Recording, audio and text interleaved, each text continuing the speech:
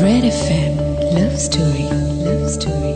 RJ Bahir Khwede Super Hits 93.5 red F এমত সময় হৈ গ'ল weekend special show' red FM love লাভ ষ্টৰীৰ আৰু এটা নতুন লাভ ষ্টৰী লৈ মই পাহি আকৌ এবাৰ আপোনাৰ কাষ চাপিলোহি আৰু আজি যিখন চিঠি হাতত লৈছোঁ সেই চিঠিখন আহিছে শিৱসাগৰৰ পৰা পঠিয়াইছে সৰুজে তেওঁ নিজৰ ষ্টৰীটিৰ এটি নামো দি পঠিয়াইছে জীৱনে আনে সুখৰ ৰেঙনি চাহক আজি আৰম্ভ কৰোঁ সৰুজৰ লাভ ষ্টৰী হাই পাহিবা আপোনাৰ শ্ব'টো বহুত ভাল লাগে শুনি।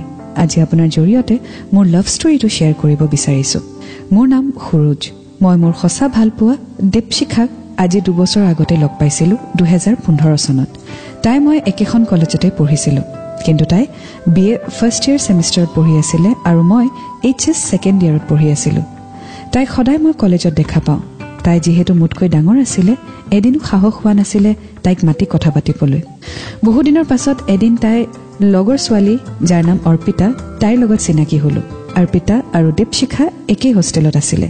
এদিন অৰ্পিতাৰ লগত কথা পাতি থাকোঁতে দীপশিখাক আমাৰ সন্মুখত অলপ দূৰত কলেজৰ এটা ছাইডত কৰিডৰত লগৰৰ সৈতে হাঁহি ধেমালি কৰি থকা দেখিলোঁ। সেইখিনি সময়তে অৰ্পিতাক মই কৈ পালোঁ যে দীপশিখাক মই বহুত বেছি ভাল পাওঁ। তাইক বহুত লাইক কৰোঁ। তেনেকুৱাতে আমাৰ ব্ৰেক টাইম শেষ হ'ল আৰু আমি ক্লাছত সোমাই গ'লোঁ। চ' আজি আমি শুনিম সৰুজাৰ লাভ ষ্টৰী জীৱনে আনে সুখৰ ৰেঙনি।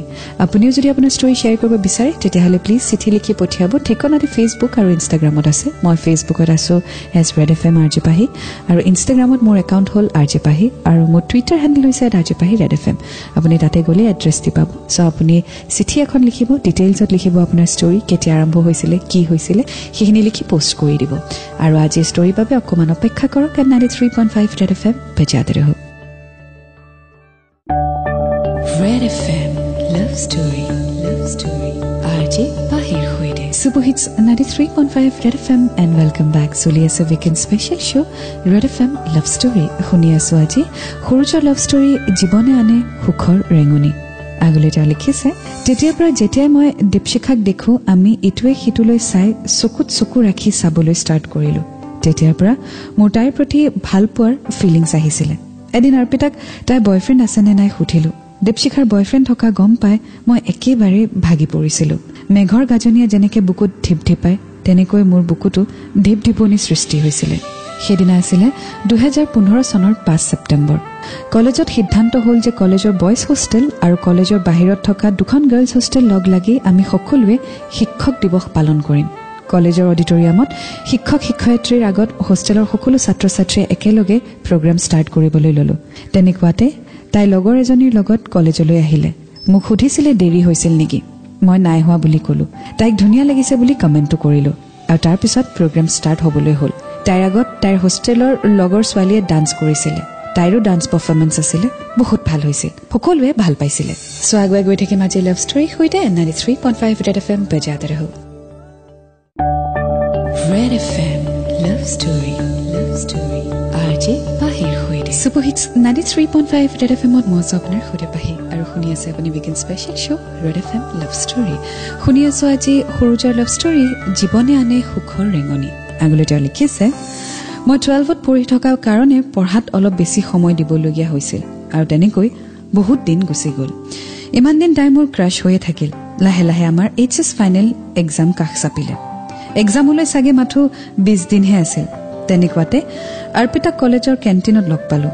মোৰ তেতিয়া প্ৰেক্টিকেল এক্সাম হৈ আছিলে। সেইদিনা অৰ্পিতাই মোক দীপশিখাৰ কোনো বয়ফ্ৰেণ্ড নাই বুলি জনালে।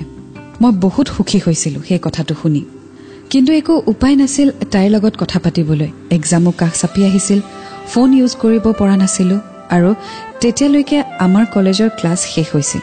এক্সাম নিচেই কাষ চাপি অহাৰ কাৰণে মই নিজক বুজাই পঢ়াত মন দিলোঁ। ৱেল দীপশিখাৰ ব্ৰেকআপ হ'ল বুলি সৰোজে গম পালে। বাট এক্সাম যিহেতু একেবাৰে ওচৰত গতিকে অফক'ৰ্ছ তেওঁ নিজৰ মনৰ কথা শ্বেয়াৰ কৰিব পৰা নাই। পঢ়াত কনচেনট্ৰেশ্যন দিছে। চ' সেইকাৰণে মই কওঁ divert your mind to something which is constructive and that helps a lot আগুৱাই গৈ থাকিম আজি লাভ ষ্টৰীৰ সৈতে and ninety three point five red F M বজাতে ৰহো। Red FM Love Story Love Story RJ Bahir Khwede super hits ninety three point five red F এমত আছোঁ আপোনাৰ সৈতে পাহি। ৱেলকাম বেক চলি আছে weekend special show' red F M love story আজি আমি শুনি আছোঁ সুৰুজৰ লাভ ষ্টৰী জীৱনে আনে সুখৰ ৰেগনি। আঙুলি তেওঁ লিখিছে তেনেকৈ এক্সাম পাৰ হৈ গ'ল পাহিবা। এক্সাম শেষ হোৱাৰ পাছতেই ঘৰ গৈ তাইলৈ মই মেছেজ কৰিছিলোঁ। তাইৰ ৰিপ্লাই নাপালোঁ। ভাবিছিলোঁ তাই চাগে ৰিপ্লাই নকৰিব। কিন্তু তাই ৰিপ্লাই কৰিলে। তেতিয়াৰ পৰা সদায় আমি বহুত দেৰিলৈকে কথা পাতিব ষ্টাৰ্ট কৰিলোঁ। অলপ দিনৰ পিছত তাইক মই মোৰ মনৰ কথা কৈ দিলোঁ যে মই তাইক ভাল পাওঁ। বাট তাই এইজ গেপৰ কাৰণে মোক ন' বুলি ক'লে। আকৌ আমি ফ্ৰেণ্ড হিচাপে কথা পতা ষ্টাৰ্ট কৰিলোঁ। কেইদিনমান পিছত আকৌ তাইক মই প্ৰপ'জ কৰিলোঁ। তেতিয়াও তাইৰ আনচাৰটো নৈ আহিছিলে। বাট নোৰ লগত এইবাৰ কিন্তু তাই অকণমান সময় লাগিব বুলি ক'লে ভাবিব যিহেতু আমাৰ এইজ গেপ বেছি। সুৰুজে নিজৰ মনৰ কথা এক্সপ্ৰেছ কৰিলে। বাট অফক'ৰ্ছ যিহেতু দীপশিখা ক্লাছ ৱাইজ সুৰুজতকৈ ওপৰত আছিলে মানে ছিনিয়ৰ চ' সেইকাৰণে দীপশিখাই তাৰ প্ৰপ'জেল একচেপ্ট কৰা নাই। বাট তাই ভাবি চাম বুলি ক'লে। চ' এতিয়া ডেফিনেটলি আপোনাৰ মাইণ্ডতো এইটো আহিছে যে এইজ মেটাৰ কৰেনে অফক'ৰ্ছ নকৰে। হোৱাট মেটাৰ্ছ ইজ মেচিয়ৰিটি যদি আপোনাৰ পাৰ্টনাৰ আপোনাতকৈ বহুত সৰু হয় but if your partner is matured enough to understand you to complete you তেতিয়াহ'লে এইজ মেটাৰ নকৰে লাইক ৱাইজ যদি আপোনাৰ পাৰ্টনাৰ আপোনাতকৈ বহুত ডাঙৰ but you are comfortable with him and her and she or he understands you well তেতিয়াহ'লে age matter নকৰে well আগুৱাই গৈ থাকিম আজি লাভ ষ্টৰীৰ সৈতে and ninety three point five Red F M বজাতে ৰহো Red FM Love Story. Love Story.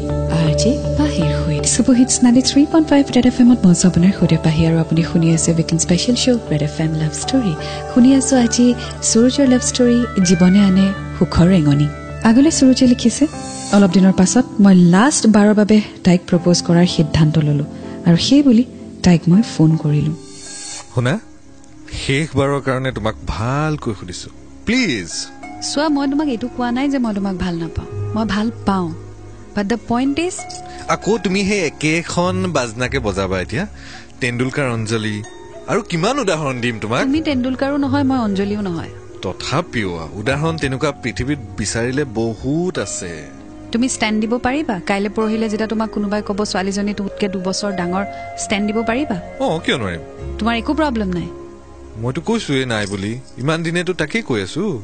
ঠিক আছে মই তোমাক এইটো নকওঁ যে মই তোমাক ভাল নাপাওঁ মই ভাল পাওঁ তোমাক কিন্তু এটা কণ্ডিশ্যনেই আছে। কি? যদি মোৰ মা দেউতাই এইটো একচেপ্ট নকৰে মই কিন্তু ষ্টেণ্ড দিব নোৱাৰিম। তেওঁলোকক কেনেকৈ পতাব লাগে সেইটো মোৰ ওপৰত দিয়া তুমি। এতিয়া ক'ব পাৰিছা যেতিয়া সঁচাকৈ সেই চিটুৱেশ্যনটো আহিব তুমি পাৰিবা? পাৰিম পাৰিম পাৰিম পাৰিম পাৰিম পাৰিম পঞ্চাছ সৈত খাই দিলো দিয়া। ঠিক আছে দিয়া। তাইৰ কণ্ডিশ্যনত ময়ো মান্তি হ'লো।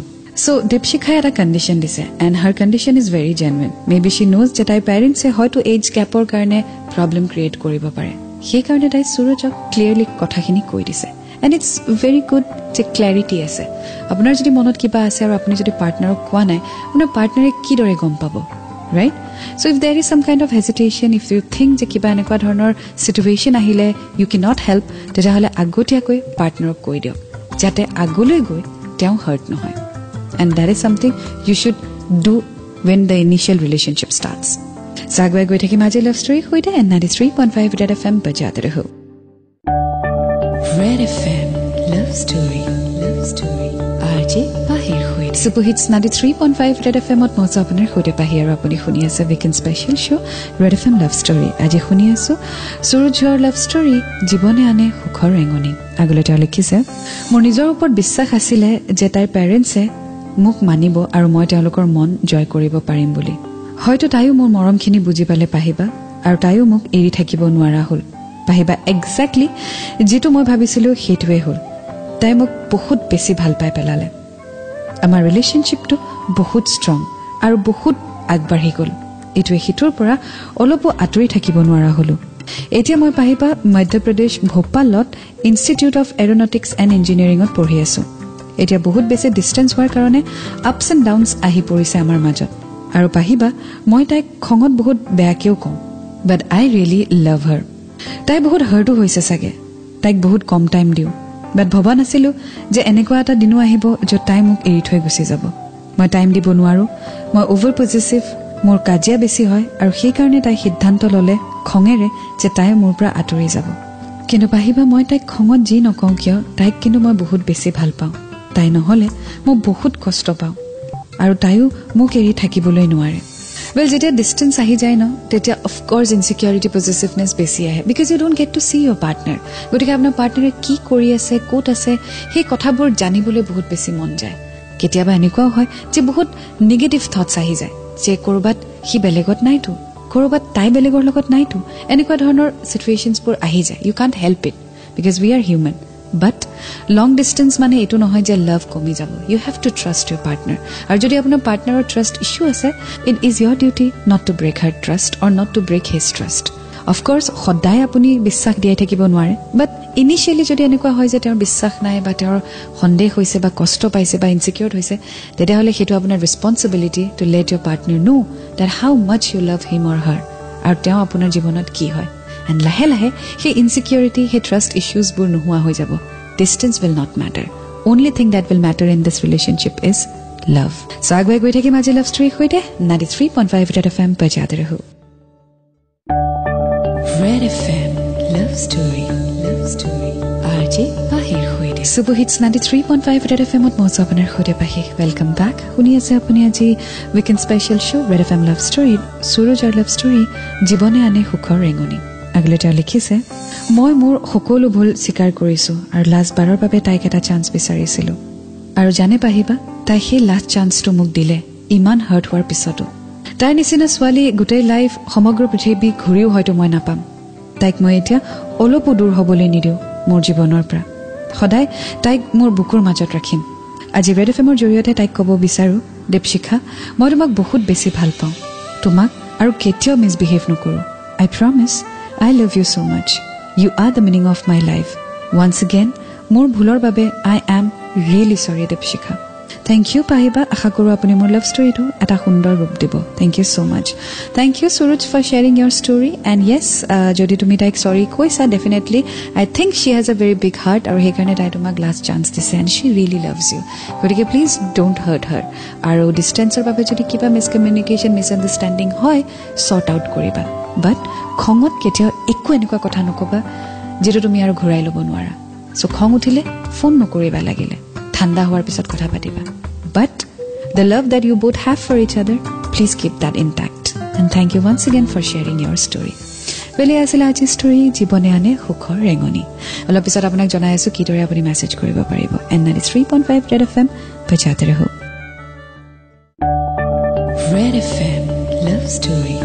Huide. Super hits ninety three point five red F এমত মই আপোনাৰ সৈতে পাহি শুনি আছে আপুনি weekend special show' red F M love story সময় এতিয়া মই আপোনাৰ পৰা বিদায় লোৱাৰ কিন্তু যোৱাৰ আগতে কৈ থৈ যাওঁ যদি আপুনিও আপোনাৰ ষ্টৰীসমূহ শ্বেয়াৰ কৰিব বিচাৰে তেতিয়াহ'লে চিঠি লিখি পঠিয়াব লাগিব অলৰেডি বহুতে চিঠিৰ জৰিয়তে শ্বেয়াৰ কৰিছে চ' আপুনি যদি ইনষ্টাগ্ৰাম আৰু ফেচবুকত পঠিয়াইছে সেইটো মই একচেপ্ট নকৰোঁ আপুনি চিঠি লিখি পঠিয়াব লাগিব ডিটেইলছ লিখি পঠিয়াব কিদৰে আৰম্ভ হৈছিল কি হৈছিলে গোটেই ঘটনাসমূহ লিখিব বাট য়েছ আপোনাৰ বয়স কিন্তু ওঠৰ বছৰতকৈ বেছি হ'ব লাগিব আৰু আপোনাৰ ষ্টৰীত যাতে কোনো ধৰণৰ ভাইলেঞ্চ নাথাকে সেইটো মন কৰিব আৰু ছ'চিয়েলি একচেপ্টেবল ষ্টৰী হ'ব লাগিব তেতিয়াহে আমি এয়াৰ কৰিম।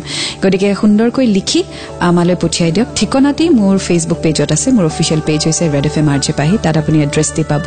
লগতে ইনষ্টাগ্ৰামতো আছে ঠিকনাটি মোৰ ইনষ্টাগ্ৰাম একাউণ্ট হৈছে আৰ জে পাহি আৰু মোৰ টুইটাৰ হেণ্ডেল হৈছে R J Pahi red F M তাতো আপুনি এড্ৰেছ দি পাব।